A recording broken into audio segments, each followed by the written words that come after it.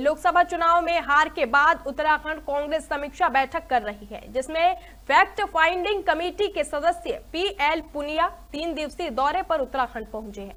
आपको बता दें कि शनिवार को समीक्षा बैठक का तीसरा दिन है।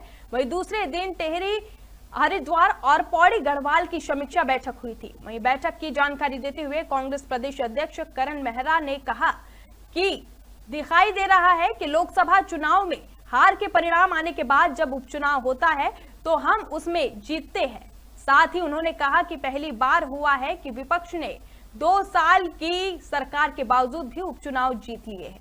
इससे एक मिथक टूटा है। उन्होंने कहा कि आज देश के पास ऑप्शन है।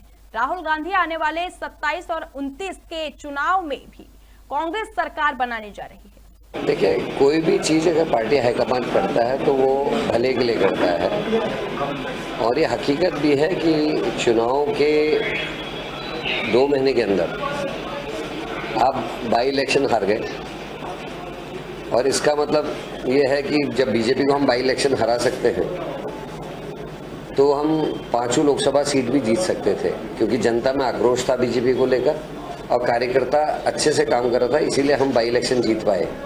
और पिछले चौदह बाई इलेक्शंस का रिकॉर्ड है कि सत्ता पक्ष ही जीता है, विपक्ष कभी बाई इलेक्शन नहीं जीता और दो साल के शासन के कार्यकाल के बाद भी कांग्रेस को जिताया है। बीजेपी का दो साल का शासन और है। उसके बावजूद भी कांग्रेस के साथियों को जनता ने जिताया। इसका मतलब जनता में एक माहौल था। जनार्दन के हाथ में है। पर जिस तरीके का ट्रेंड चल रहा है और लोग नाराज़ हैं जिस तरीके से राहुल गांधी जी परफॉर्म कर रहे हैं as a leader of opposition आप देखिए ना, पहले लोग कहते हैं ऑप्शन क्या है? मोदी के अलावा ऑप्शन नहीं है।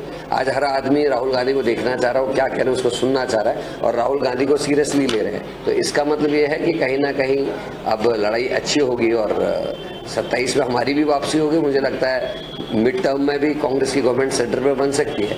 या फिर जो आगे उनतीस का चुनाव, उसमें कांग्रेस की सरकार लेट सरकार जो है वो देश में बनेगी।